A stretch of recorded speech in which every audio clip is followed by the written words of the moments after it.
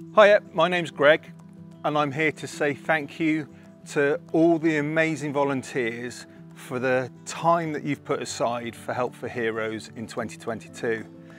Without your passion and drive, veterans like myself, we wouldn't be on our path to recovery uh, like we are. So from the depth of my heart, thank you.